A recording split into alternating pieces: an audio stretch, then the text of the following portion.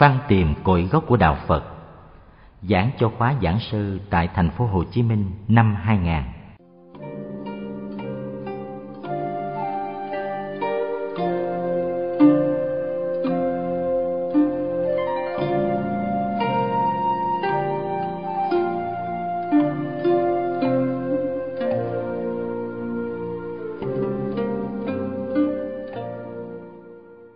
Đề tài tôi nói hôm nay, thiền là cội gốc của đạo Phật. Qua đây quý vị tự nghiệm xét để thấy rõ đường lối tu Đức Phật đã dạy từ thuở ban đầu. Nhiều vị vào chùa thấy quý thầy làm gì, tu thế nào thì cứ như thế làm theo, rập khuôn, xưa bài, nay làm. Người trước làm thế nào thì người sau cũng y như thế đó thôi. Chúng tôi không có quan niệm như vậy. Khi vào đạo chúng tôi có những thắc mắc ưu tư, phải làm sao tìm cho ra manh mối tu hành của Đức Phật và ứng dụng được đường lối ấy vào sự tu thì tôi mới hài lòng.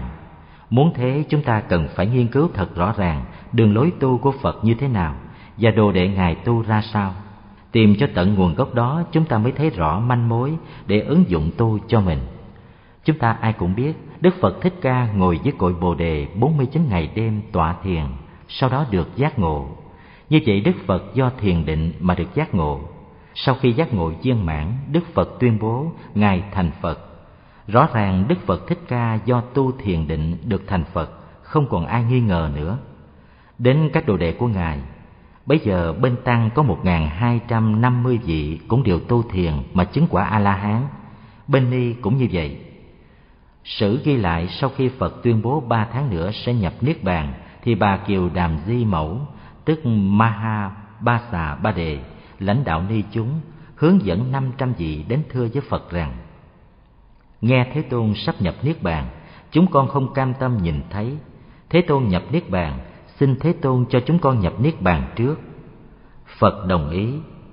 Trở về trụ xứ, năm trăm vị nhập định rồi an nhiên thị tịch. Như vậy do tu thiền mà chư tăng, chư ni chứng A-la-hán và được sanh tử tự tại. Khi cần ra đi không có gì trở ngại Kiểm lại từ Đức Phật cho tới các môn đồ của Ngài đều tu thiền mà chứng ngộ giải thoát. Đây là điều căn bản, chắc chắn không nghi. Nói xa hơn trên đường truyền bá Phật giáo từ Ấn Độ sang Trung Hoa và từ Ấn Độ sang Việt Nam, Phật giáo được truyền bá những gì chúng ta cần phải hiểu, phải nắm cho vững. Ở Trung Hoa, kể từ đời vua Hán Minh Đế, các vị sư từ Ấn Độ sang dạy tu thiền, mãi đến thế kỷ thứ sáu Ngài Bồ Đề Đạt Ma sang Trung Hoa truyền bá thiền. Từ đó thiền tông Trung Hoa ngày càng phát triển mạnh mẽ và truyền lần sang những nước khác như Việt Nam, Nhật Bản, Triều Tiên, vân vân. Vậy gốc của Phật giáo truyền vào Trung Hoa là thiền. Ở Việt Nam, từ các vị ban đầu như Khương Tăng Hội cũng dạy tu thiền, một số sách sau này tìm thấy được do Ngài viết bài tựa dạy tu đếm hơi thở, như là An Bang Thủ Ý, Đường lối các ngài dạy đều là thiền, nhưng tu thiền theo tinh thần A Hàm, hoặc có ngài dạy tu thiền theo tinh thần Đại Thừa, trong đó có lục độ dạng hạnh. Mãi cho tới thế kỷ thứ bảy, ngài Tỳ Ni Đa Lưu Chi sang, Thiền tông mới bắt đầu có mặt ở Việt Nam. Đến thế kỷ thứ chín, ngài Vô Ngôn Thông truyền thiền sang Việt Nam, vân vân. Tóm lại, hệ thống tu thiền đã có từ thế kỷ thứ ba đến thế kỷ thứ 8, thứ 9 và thế kỷ thứ 10, 11 thì có thêm dòng thảo đường truyền vào đời Lý.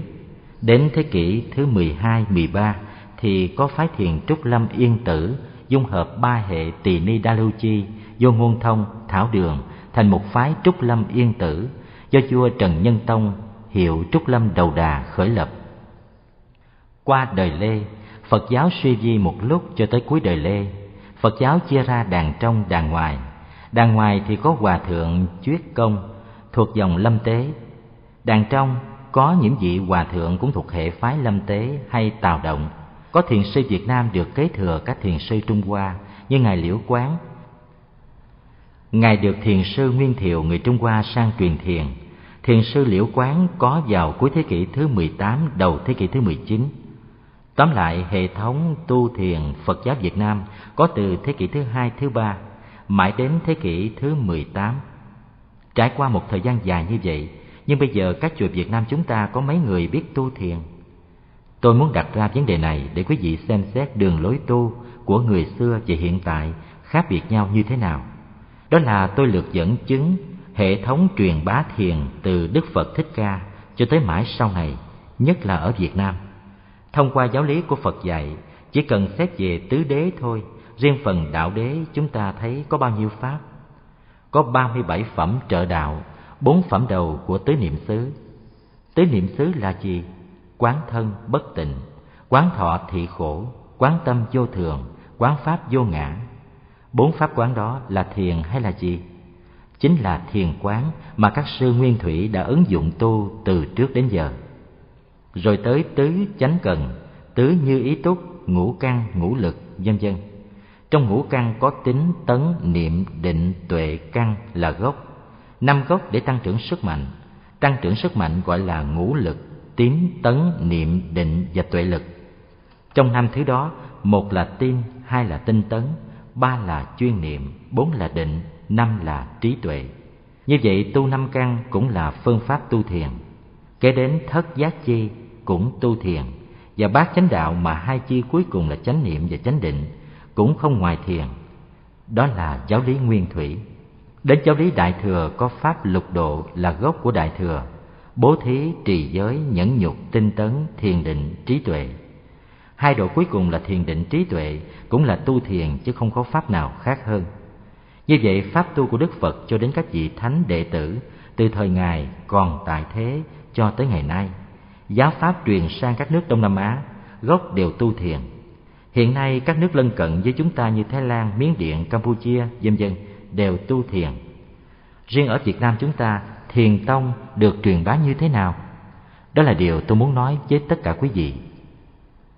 Ngày xưa khi vào đạo học lớp sơ đẳng, Tăng Ni thường được học những bộ kinh tứ thập nhị chương, di giáo và bài cảnh sách của Tổ Quy Sơn, gọi chung là Phật Tổ Tam Kinh.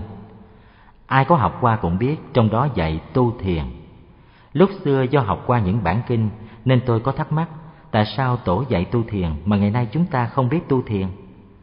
Đến khi lên trung đẳng học qua kinh Lăng Nghiêm, kinh Duyên Giác, vân vân, tôi cũng thấy dạy tu thiền, nhưng sao thầy mình không dạy tu thiền? Vì vậy nên tôi bất an. Tôi tự đặt câu hỏi tại sao kinh Phật dạy tu thiền mà mình không biết tu thiền. Thậm chí có khi nói đến tu thiền, nhiều vị răng đe coi chừng tu thiền bị tẩu quả nhập ma, bị điên, khiến tôi lại càng thắc mắc hơn nữa. Nếu tu thiền điên thì Đức Phật tu thiền lẽ ra Ngài phải điên trước. Rồi đệ tử mấy ngàn người cũng tu thiền, nhưng sao không thấy vị nào điên hết? Tới phiên mình tu thiền lại điên.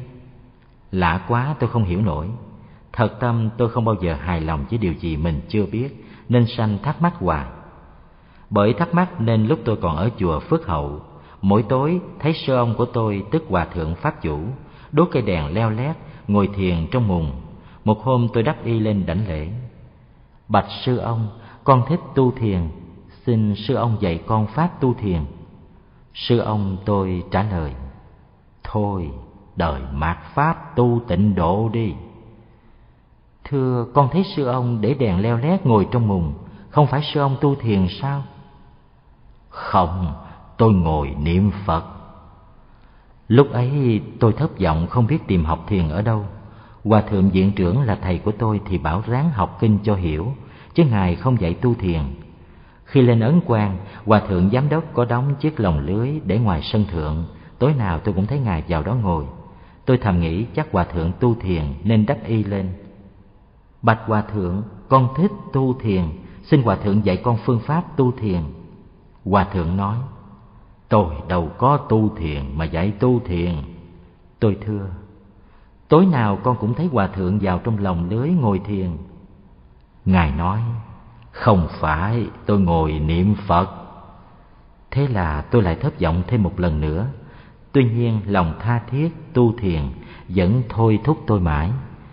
Phật tu thiền, tổ tu thiền mà mình không biết tu thiền như vậy là sao? Một hôm thầy tôi là hòa thượng viện trưởng gọi lại nói, Thanh tự muốn tu thiền à? Tôi cho quyển sách này về đọc rồi theo đó tu. Tôi nhận quyển sách cho thầy tôi viết tay khi người còn học ngoài chùa báo quốc Quế.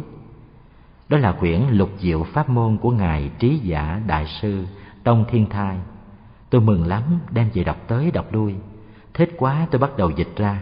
Khi dịch quyển sách đó tôi thấy được đường lối tu thiền nhưng mà chưa vững. Đến khi Hội Phật học Lưỡng Xuyên thỉnh Đại Tạng Kinh bên Nhật đem về để tại Lưỡng Xuyên. Sau này hội nghị không hoạt động, quý hòa thượng gửi lên cho ấn quan để vào thư viện. Tôi nghĩ rằng mình có Đại Tạng Kinh là duyên tốt, bây giờ làm sao nghiên cứu? Tôi liền xin quý hòa thượng cho tôi làm tri tạng để trông coi Đại Tạng Kinh. Được quý ngài chấp thuận, tôi bèn tham khảo hết những sách dạy về tu thiền. Lúc đó tôi đọc sách thiền như là mũi cắn đá, đọc tới đọc lui không hiểu gì cả. Tôi thắc mắc tại sao các ngài dạy tu thiền mà mình không hiểu. Song nhờ duyên phúc lành, năm 1962, tôi bị bệnh phổi, không thể giảng dạy, phải nằm bệnh viện ba tháng. Sau đó tôi về thất đem tạng kinh theo nghiên cứu và thực tập tu thiền theo cuốn lục diệu pháp môn dạy. Sổ tức, tùy tức, chỉ, quán, hoàng, tịnh. Lấy đó làm căn bản tu thiền nhưng khi đọc về thiền tông Trung Hoa, tôi vẫn không hiểu gì cả. Tôi buồn lắm. Sau đó tôi dâng lời quý hòa thượng trở về Phật học viện Huệ Nghiêm dạy và đồng thời mở một lớp trung đẳng chuyên khoa tại Dược sư. Chúng tôi dạy ba năm. Trong thời gian này tôi vừa dạy vừa tu thiền sổ tức và tùy tức. Dạy được ba năm tôi nhớ lại. Có một lần đi giảng ở Rạch Giá với thầy Quyền Di. Phật tử nghe Pháp đông lắm. Chúng tôi giảng sách Phật học phổ thông. Giảng khóa thứ nhất thì êm xuôi. Đến khóa thứ hai nói về sự tu chứng sơ thiền, nhị thiền, tam thiền, vân vân. Giảng xong có một phật tử đến quỳ thưa. Bạch thầy, quý thầy dạy tu sẽ chứng được sơ thiền, nhị thiền, tam thiền, tứ thiền, cho tới tu đà hoàng, vân vân. Thưa, như vậy quý thầy đã chứng được quả gì rồi? Lúc đó tôi lúng túng không biết trả lời làm sao. Dạy người ta rõ quá, sơ thiền là ly sanh hỷ lạc, vân vân. Nhưng hỏi thầy chứng được quả gì thì câm miệng. Khi ấy thầy quyền chi nhanh trí cứ bồ tôi. Thầy nói, đạo hữu nên biết, người tu chứng như uống nước nóng lạnh tự biết. Làm sao nói được? Vị phật tử đó mới không hỏi nữa. Nhưng kể từ đó tôi rất khắc khoải trong lòng mình mình dạy người ta tu, mà thật tình mình đã tu được gì chưa? Cho nên khi dạy đủ ba năm ở huệ nghiêm cũng như ở dược sư, tôi liền xin hòa thượng viện trưởng và thầy minh châu ở vạn hạnh, vì lúc đó tôi cũng có dạy ở vạn hạnh, được nghỉ. Thầy minh châu đồng ý, nhưng hòa thượng viện trưởng thì không vui. Tuy nhiên, ngài cũng không ngăn cản. Bấy giờ tôi dứt khoát tu thiền, vì nghĩ rằng đã tạm trả nợ áo cơm xong nên có thể lên núi tu sau đó tôi ra vũng tàu cất thất để tên là pháp lạc thất, tức là thấp vui với chánh pháp. Tôi đem tạng kinh theo nghiên cứu tu tập, trong khi tu thiền tôi không được ai chỉ dạy. Vì không thể tin những người không học phật mà dạy tu thiền, nên tôi chẳng tìm người ngoài, chỉ nghiền ngẫm theo kinh điển để tu. Trong thời gian đó có thể nói nhờ túc duyên lâu đời đã gieo sẵn hạt giống lành, nên tôi cố gắng hết sức mình. Dù việc tu có nhọc nhằn cực khổ nếu tu thiền điên, có lẽ tôi điên trước tiên, vì không có thầy mà tự tu thì dễ bị điên lắm. Tôi nghĩ đời tu của mình chưa chắc có phước lành được kết quả tốt. Bởi vậy năm 1968 tôi tuyên bố nhập thất. Nếu thấy biết điều gì mới lạ, tôi sẽ mở cửa thất để giảng dạy cho tăng ni. Còn nếu mù tịch, không biết gì hết thì đóng cửa chết luôn trong đó. Nên tôi tuyên bố nhập thất vô thời hạn. Tôi nghĩ cứ tu như vậy chết cũng không hổ thẹn. Tuy nhiên chỉ trong vòng 8 tháng, từ ngày mùng 8 tháng 4 đến mùng 8 tháng Chạp, tôi mở cửa thất. Khi về thăm lại huynh đệ, có một số vị nói tôi tuyên bố nhập thất vô thời hạn mà mới có một thời gian đã mở cửa, chắc ngán rồi, hay là buồn chịu không nổi. Nhưng tôi tự biết. Tôi trình với Hòa Thượng Viện trưởng và nói chuyện với Thầy Bửu Huệ. Thầy Bửu Huệ hơi tiếc, Thầy nói như vậy còn ngắn, phải đóng cửa lâu thêm chút nữa. Nhưng vì tôi quá nhiệt tình, thấy biết được điều gì hay, điều gì mới thì phải nói cho mọi người cùng tu, chứ làm thinh không được. Nên tôi ra thất lập thiền viện năm 1969. Năm 1970 mở khóa đầu dạy thiền cho chư tăng ni. Tôi còn ngờ tuy mình tu không bị điên, nhưng không biết dạy người tu có sao chăng? Vì vậy tôi chọn các huynh đệ đã học Phật khá, tu hành tương đối nghiêm túc, nhận vào khóa đầu chỉ có 10 người, tu thử trong vòng 3 năm qua ba năm không thấy ai điên hết, tôi mở khóa thứ hai, chư tăng hơn hai mươi vị, cộng với linh quan nữa là bốn mươi mấy. Chư ni cũng được hai ba chục. Nhưng đến năm bảy lăm bảy sáu hoàn cảnh kinh tế khó khăn, thiền viện hết gạo, thầy trò phải chạy, thành ra khóa thứ hai dở dang.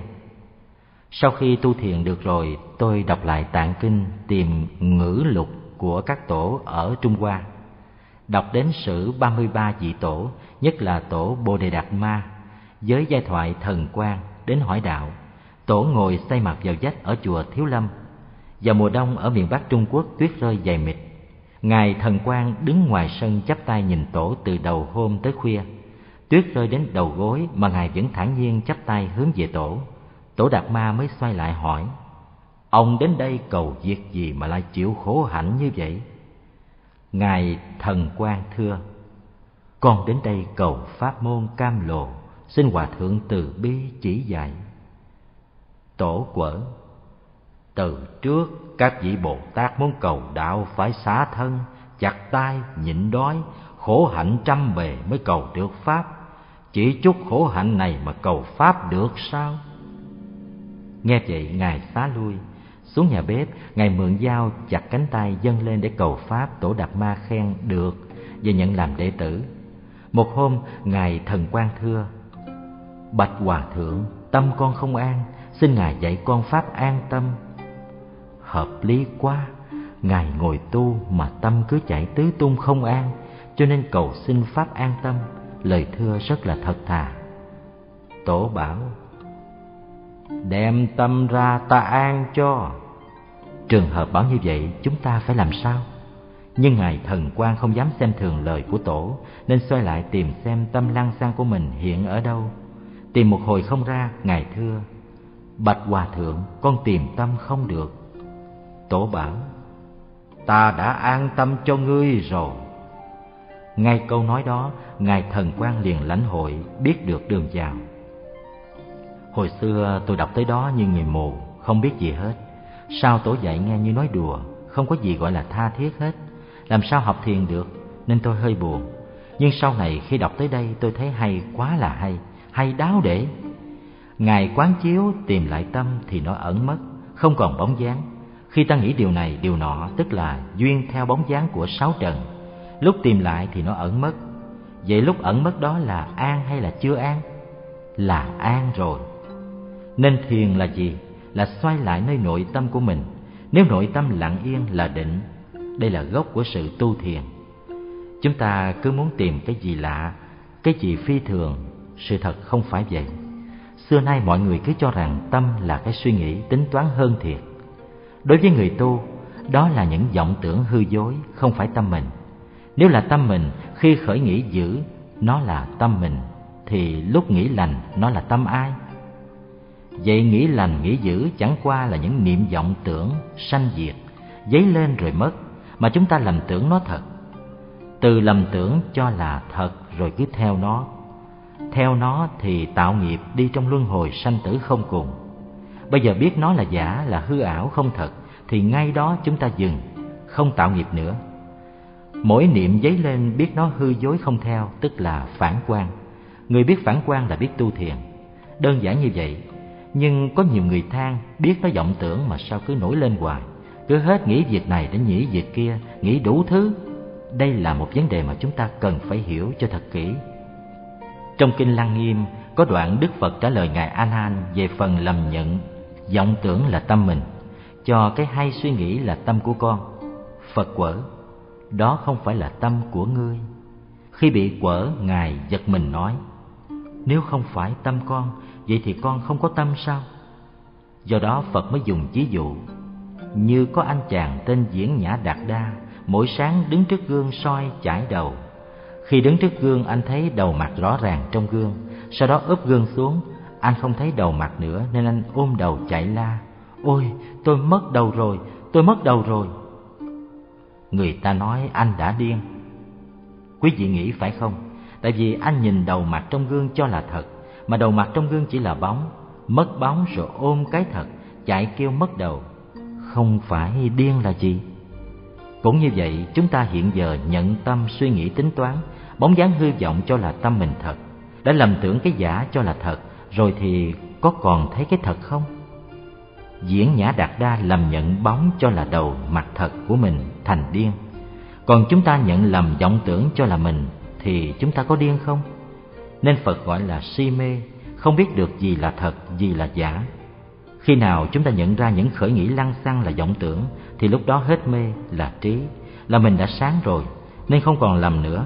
Vì vậy lục tổ dạy, không sợ niệm khởi, chỉ sợ giác chậm. Niệm khởi thì mặc nó, chỉ sợ nó khởi mà chúng ta không biết nó hư dối. Nếu nó khởi lên, chúng ta biết là hư dối, là đã giác rồi. Niệm khởi là mê mê là chúng sanh. Biết nó là vọng, là dối, đó là giác giác tức là phật. Một chúng sanh dấy lên, có một vị phật hiện ra. Như vậy có thua thiệt gì đâu. Niệm khởi cứ cho khởi, miễn chúng ta giác là được. Lối tu này rất cụ thể, rất thiết thực. Nếu chúng ta tu hiểu và ứng dụng như vậy, thì trên đường tu sẽ rất lợi ích. Lâu nay chúng ta mê lầm nhận giả làm thật, cho nên tất cả chúng ta phải chịu sống trong mê lầm. Ví dụ chúng ta giận ai, vừa khởi nghĩ giận thì nói, tôi đang giận nói tôi đang giận tức là thừa nhận cái giận là tôi. Rồi đang buồn, đang tuổi, đang lo, đang tức, vân vân, cũng tôi. Nếu giận là tôi thì khi hết giận lẽ ra tôi cũng tan. Vì nó là tôi mà nó mất thì tôi cũng mất luôn. Nhưng chúng ta có mất không? Không mất. Rõ ràng nếu nhận cái giọng làm tôi thì chẳng khác nào chàng diễn nhã đạt đa nhận bóng làm thật. Như vậy giận không phải là thật tôi. Giận một chút rồi hết chứ đâu phải năm này, tháng kia còn hoài. Lúc không giận nữa, tôi vẫn có. Thì làm sao nói giận là tôi được? Cũng như thế, buồn, thương, yêu, ghét không phải là tôi, chỉ là một hiện tượng của tâm sở thôi. Do chúng ta nhận nó là mình, nên không thấy được mặt thật của mình. Người tu thiền phải nhận cho ra cái chân thật, không chạy theo các tướng tạm giả bên ngoài, gọi là nhận ra ông chủ. Hiểu được điều đó, khi nổi giận lên, chúng ta tự hỏi cái gì giận, ai giận? Hỏi cái gì giận là sân tâm sở, chứ không phải tôi. Khi hết giận thì nó lặn xuống. Biết như vậy, trên đường tu chúng ta mới nhận được cái thật, cái hư. Chúng ta có cái chân thật mà lâu nay mình quên. Cứ nhận cái hư giả là mình, nên cái thật nó ẩn khuất. Cho nên tôi rất tâm đắc câu trả lời của ngài triệu châu. Có người đến hỏi ngài, bạch hòa thượng, con chó có phật tánh không? Ngài trả lời, không. Vị tăng ấy hỏi tại sao phật nói tất cả chúng sanh đều có phật tánh, riêng con chó không có phật tánh? Ngài trả lời, vì nghiệp thức che đậy. Một người khác đến hỏi, bạch hòa thượng, con chó có phật tánh không? Ngài trả lời, có. Hỏi, phật tánh là sáng suốt, tại sao lại chui trong đẩy da lông lá lu xù vậy? Ngài trả lời, vì biết mà cố phạm. Những câu này rất là thâm trầm, nhưng mới nghe thật khó hiểu hỏi con chó có phật tánh không? Ngài nói không. Tại sao không? Vì nghiệp thức che đậy. Nghiệp thức là gì? Chữ thức là phân biệt. Chính cái hiểu biết phân biệt che khuất nên không thấy phật tánh. Tôi ví dụ như đêm rằm trăng sáng nhưng khoảng 11 12 giờ có người nhìn lên trời không thấy trăng, liền nói sao đêm rằm không thấy trăng. Chúng ta trả lời thế nào? Vì mây che khuất chứ không phải đêm rằm không có trăng. Mây dày bịt đó là dụ cho nghiệp thức của chúng ta quen hơn thua, đẹp xấu, phải quấy, được mất, vân vân. Lăng xăng hoài nên tâm thể bị ẩn khuất. Chúng ta ngồi thiền để lặng tâm lăng xăng đó. Khi nào nó lặng xuống thì tâm thể hiện tiền. Như mây tan hết thì mặt trăng hiện đủ, Ý này hết sức rõ. Lâu nay chúng ta quen nhận nghiệp thức là tâm mình, cho nên chân tâm chìm ẩn. Khi nào chúng ta biết nghiệp thức không phải là mình, chỉ là bóng dáng tạm bợ, cũng như mây không phải là mặt trăng, chúng ta làm cho nghiệp thức lặng sạch, thì chân tâm hiện tiền. Đó là gốc của sự tu. Khi tâm chân thật hiện tiền là chúng ta giác, còn nhận nghiệp thức làm tâm là mê. Sống trong mê nhưng ai nói mê thì nổi giận liền, không chịu mình mê tưởng rằng nghĩ nhiều tính nhiều là khôn không ngờ đó là đã quên cái thật của chính mình vì vậy chúng ta tu là để trở về cái thật của chính mình muốn trở về cái thật thì phải dẹp hết các thứ hư dối.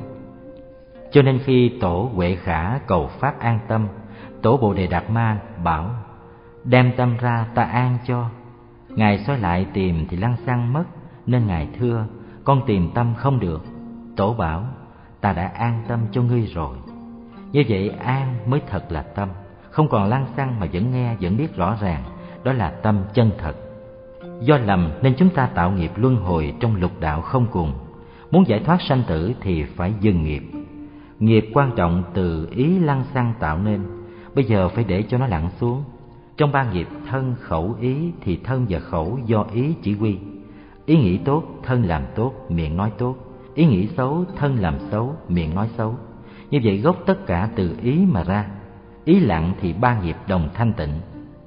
Cho nên tu phải biết nắm ngay từ gốc gốc đó, phật dạy chúng ta phải khéo nhìn, đừng để lầm lẫn, phải thấy cho tường tận để rồi cố gắng dẹp cái giả cho cái thật hiện bài. Câu trả lời của ngài triệu châu rất hay, rất rõ ràng. Đến câu sau, vị tăng hỏi, con chó có phật tánh không? Ngài nói, có. Hỏi, phật tánh thì sáng suốt, tại sao lại chui vào đẩy da lông lá lưu xù? Ngài trả lời, biết mà cố phạm. Bởi vì chúng ta không làm chủ được nghiệp, nên bị nghiệp lôi dẫn như tăng ni phật tử thì ai cũng biết nóng giận là xấu. Nhưng có ai chọc tức liền nổi giận đùng đùng. Biết xấu mà vẫn làm, đó gọi là biết mà cố phạm. Chúng ta biết điều đó dở xấu nhưng bị nghiệp chi phối, nên gặp cảnh liền khởi tội ác, rồi bị tội ác dẫn đi. Người tu biết điều đó phạm mà vẫn bị nghiệp kéo lôi, là vì đạo lực yếu, nghiệp lực mạnh. Chết không làm chủ được thì khi tái sanh, làm sao được chỗ như ý? Câu trả lời thứ hai nhắc nhở người cư sĩ hay xuất gia, nếu không làm chủ được nghiệp lực của mình thì chừng mất phải đọa vào những đường khổ vì bị nghiệp dẫn. Người xuất gia nếu không cố gắng tu tập vẫn bị nghiệp lôi như thường, đó là điều thiết yếu chúng ta phải hiểu. Chúng ta tu phải làm chủ được mình, tức là làm chủ nghiệp. Có nhiều vị tu sĩ tu một thời gian rồi hoàn tục, gặp bạn bè hỏi sao thầy không tu nữa, dễ nói tại nghiệp nói tại nghiệp là nói gọn, chứ nói đủ là tại nghiệp nó dẫn tôi. Tôi thua nó nên tôi không tu nữa. Như vậy tất cả việc thua trận đều do nghiệp làm chủ mình. Nếu chúng ta thắng được nó thì chúng ta làm chủ. Tự do tự tại. Tự do tự tại là giải thoát sanh tử rồi.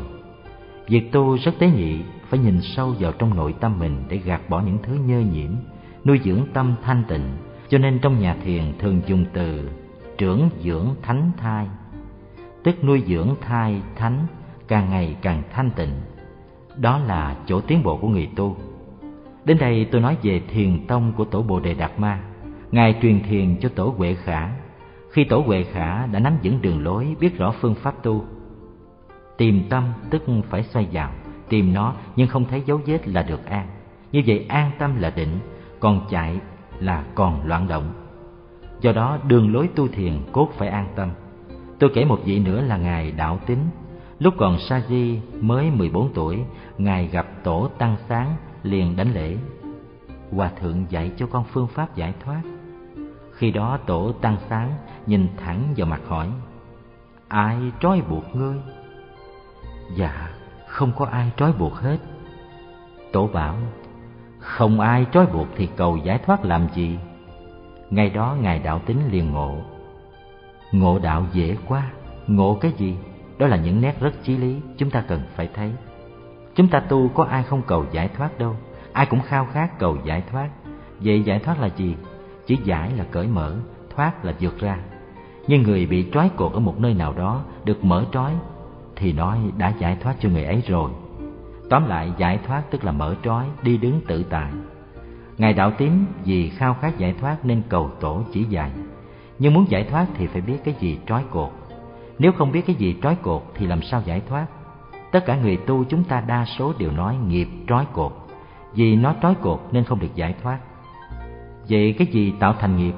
Thân khẩu ý, nhưng trọng tâm là ý. Ý là nhân tạo nghiệp. Nhưng nếu ý thật thì cột chúng ta mới được. Trái lại, cả ngày ý sanh diệt không biết bao nhiêu lần thì làm sao thật được? Ý đã không thật thì nghiệp thật không?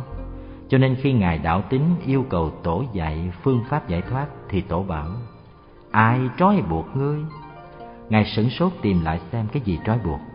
Đó cũng là phản quan xem cái gì trói buộc mình phan tìm khắp nơi không thấy nên ngài thưa, con không thấy có gì trói buộc hết. Tổ bảo, cầu giải thoát làm gì? Nhìn lại không thấy có gì trói buộc, tức là giải thoát rồi. Như vậy muốn được giải thoát chúng ta đừng ảo tưởng, đừng mê lầm. Chúng ta thường nghĩ rằng bị cột trói là cục cửa nhúc nhích không được. Bây giờ phải mở trói mới cục cửa nhúc nhích được. Nhưng sự thật không phải. Chúng ta đang bị mê lầm chấp giả làm thật. Từ mê lầm rồi tạo nghiệp trầm luân. Nếu bây giờ chúng ta tỉnh táo biết giả dối là giả dối thì mọi sự trói buộc cũng hết theo, chứ không có gì lạ. Như vậy, người biết tu phải quay lại tìm cho ra cái gì là nhân trói buộc, cái gì là quả giải thoát. Thấy tường tận như vậy thì tự nhiên chúng ta giải thoát, chứ đừng cầu ai hết. Qua câu chuyện của vị thiền sư, chúng ta thấy ý nghĩa rất rõ ràng. Muốn giải thoát không phải tìm kiếm ở đâu xa, mà phải phản quan lại mình, thấy cho tường tận, thấy cho rõ ràng, thì chúng ta sẽ đi tới giải thoát, không nghi ngờ. Đó là tôi nói hai vị tổ Trung Hoa. Hiện giờ tôi có một thiền viện ở Đà Lạt, tôi đặt tên là thiền viện Trúc Lâm. Nói đúng là phải gọi Trúc Lâm Yên Tử. Nhưng muốn gọi gọn, tôi chỉ đặt thiền viện Trúc Lâm. Tại sao tôi gọi thiền viện Trúc Lâm? Vì tôi thấy trong lịch sử Phật giáo Việt Nam, người truyền thiền tông đầu tiên ở đất nước ta là tổ Tỳ Ni Đa Lưu Chi, người Ấn. Kế đó là tổ Vô Ngôn Thông, người Hoa. Sau nữa là ngài Thảo Đường, cũng người Hoa. Đến khi ngài Trần Thái Tông là ông vua đầu tiên của nhà Trần tu thiền, khi rảnh rỗi ngài trì kinh Kim Cang. Một hôm nhân khi đọc đến câu ưng vô sở trụ nhi sanh kỳ tâm, ngài để kinh tốn hiền ngẫm dây lâu, bỗng dưng giác ngộ thấy được lý thiền. Khi ngộ được câu đó, về sau ngài có viết cuốn Thiền Tông Chỉ Nam, nhưng đã thất lạc mất. Chúng ta chỉ còn tìm được bài tựa thôi, bản chánh đã bị mất. Tổ thứ sáu của Thiền Tông Trung Hoa là tổ Huệ Năng. Khi nghe ngũ tổ giảng kinh Kim Cang trong lúc giữa đêm, tới câu bất ưng trụ sắc sanh tâm, bất ưng trụ thanh hương vị xúc pháp sanh tâm, ưng vô sở trụ nhi sanh kỳ tâm.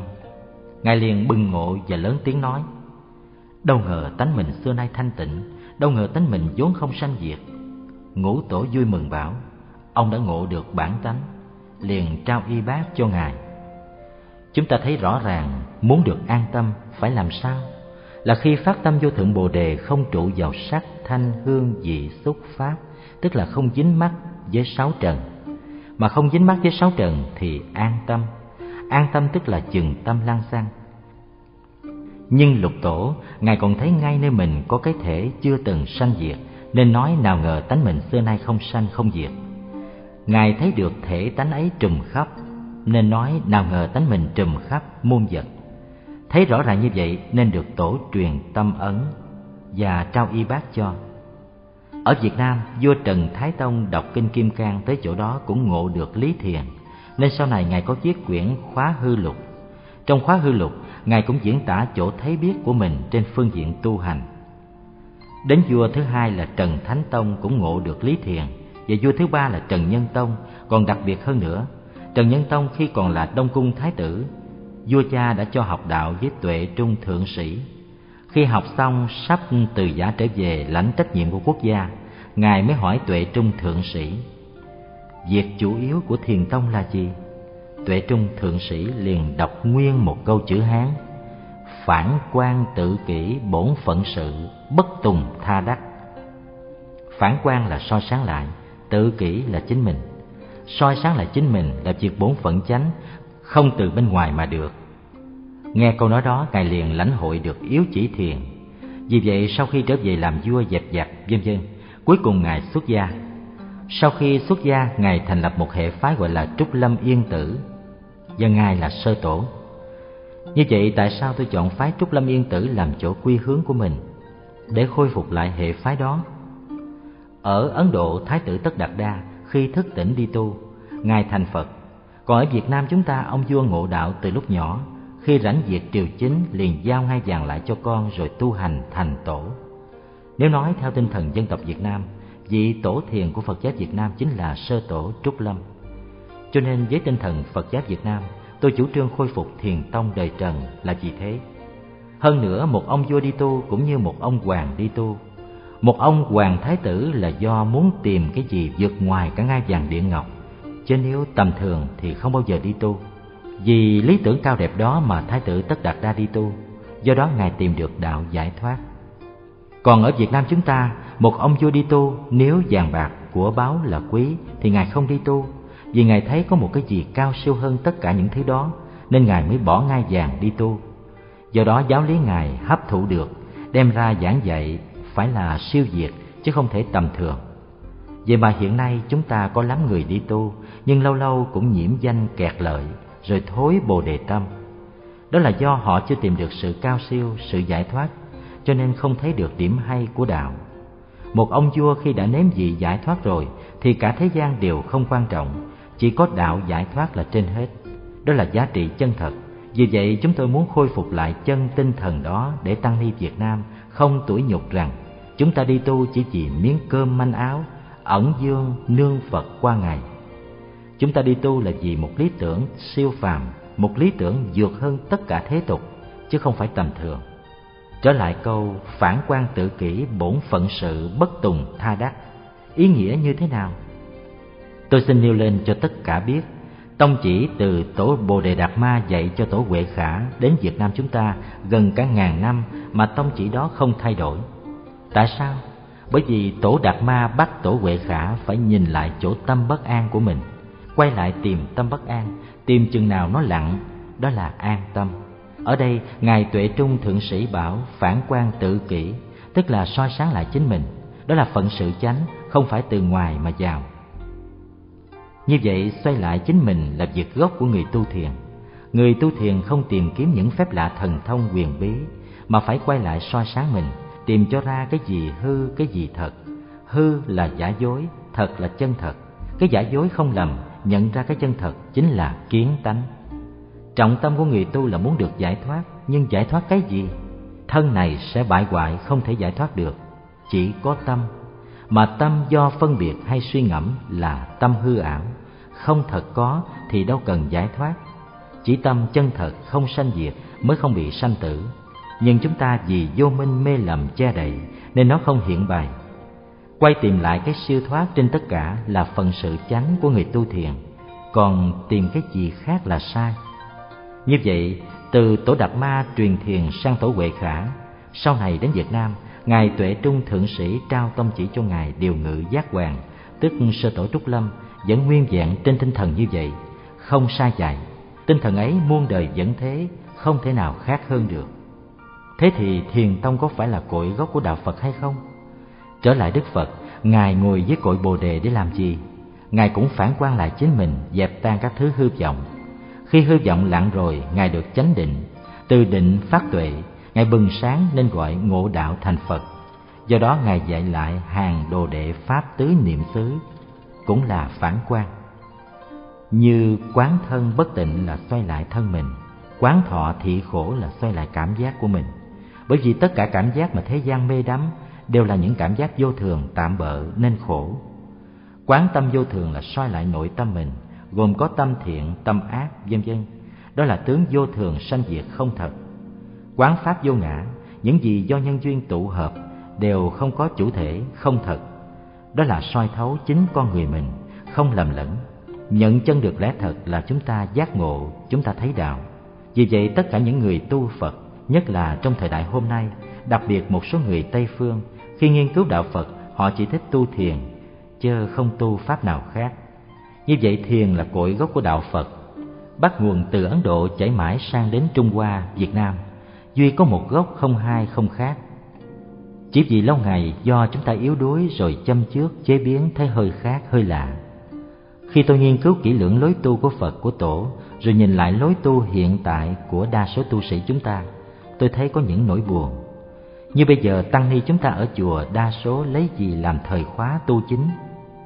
Lấy hai thời khóa tụng, tối tu tịnh độ, khuya tụng chú lăng nghiêm, cho đó là gốc của sự tu. Nhưng hỏi hai thời khóa tụng đó xuất phát từ đâu, lúc nào, quý vị có biết không?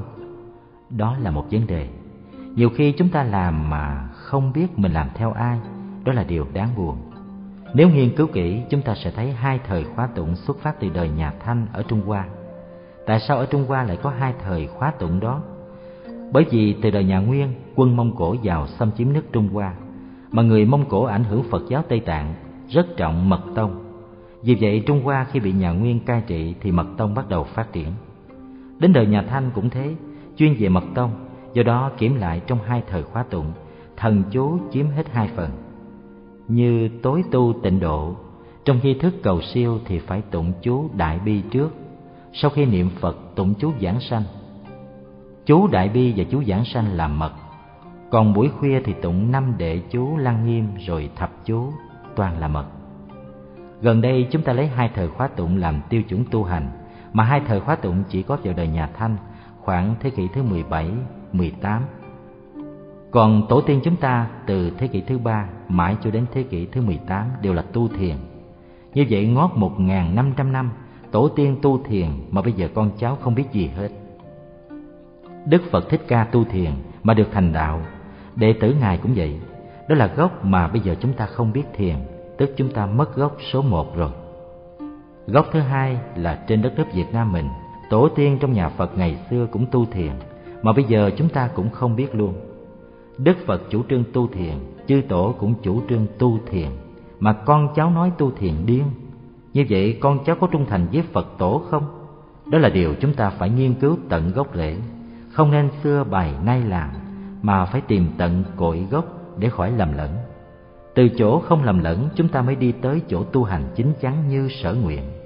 Tu cầu giải thoát giác ngộ, chứ không phải tu cầu được ấm no, được nhiều vật chất. Hiểu cho tường tận như vậy thì trên đường tu được kết quả tốt. Xả thân cầu đạo như vậy mới xứng đáng, bằng không thì thật uổng phí đời tu của mình. Mong tất cả hiểu được thiền là cội gốc của đạo Phật, để từ đó chúng ta cố gắng tu tập và đạt được kết quả như lời của Phật dạy. Chúc tất cả đều được sở nguyện viên thành.